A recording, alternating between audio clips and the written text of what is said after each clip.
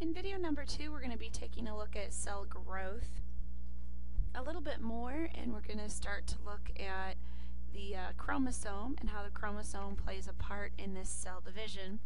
Some vocabulary that we need to know though, when we look at the cell and the cell dividing, we need to know that cell division is a process. So there are several steps involved in the cell dividing, and in the division process, you take the original cell that you have and it's going to break apart into two daughter cells.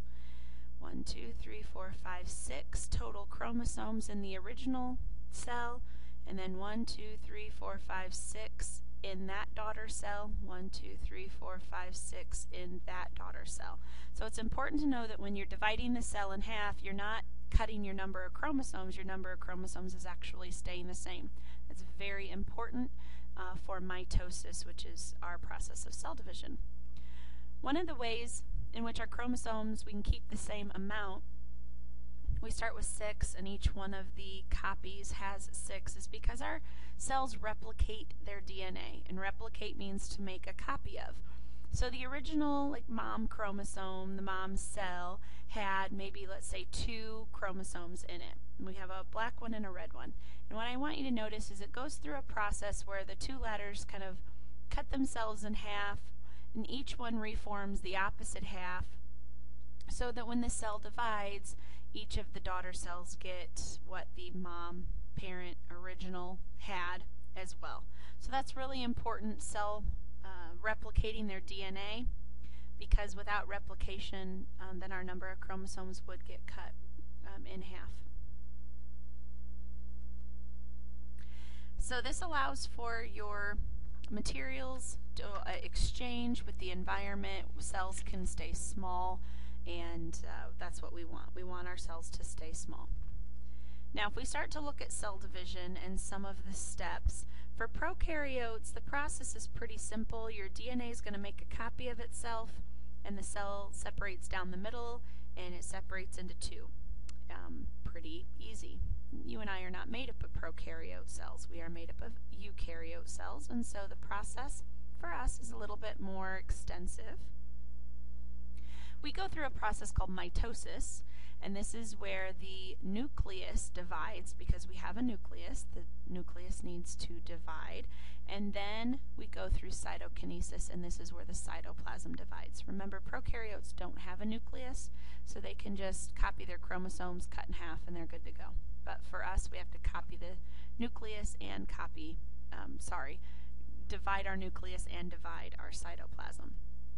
We're going to be looking at this, uh, and this picture will show up multiple times, but that process that I was just looking at was right here, mitosis.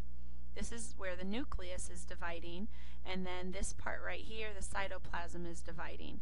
The rest of this is kind of just a growth period for the cell to grow and mature and get to the point where it needs to divide, uh, where it's not getting enough food, oxygen waste uh, out, so on it needs to go through this division process.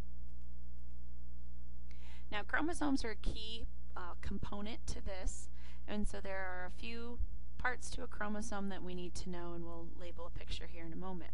But chromosomes are copied before the cell can even divide, and again I explained why. If we have six chromosomes to start with and we're wanting to make identical copies, each one will need six copies, so we need to uh, make sure that we copy our chromosomes.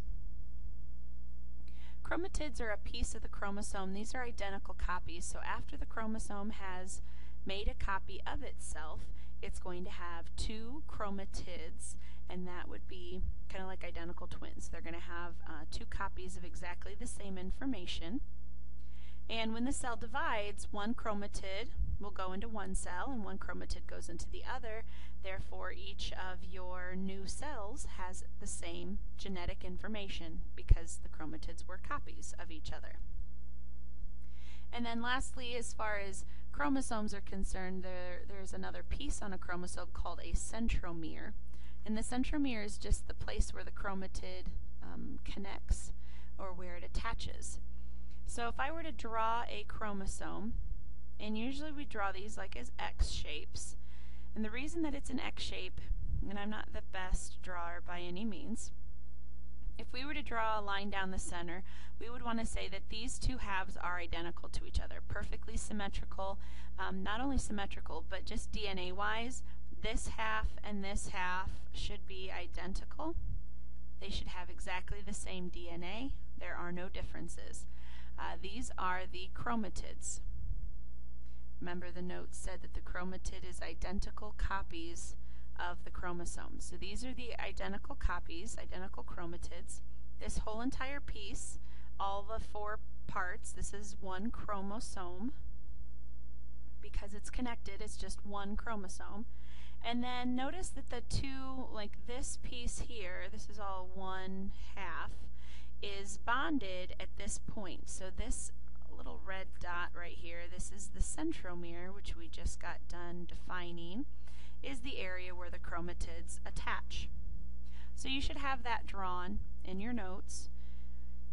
And the next slide is just going to show a picture of, this is an actual real chromosome, magnified thousands of times. You notice that they're not really nice, neat, even, um, the way I draw them. They are made up of protein and nucleic acids that are kind of raveled around each other.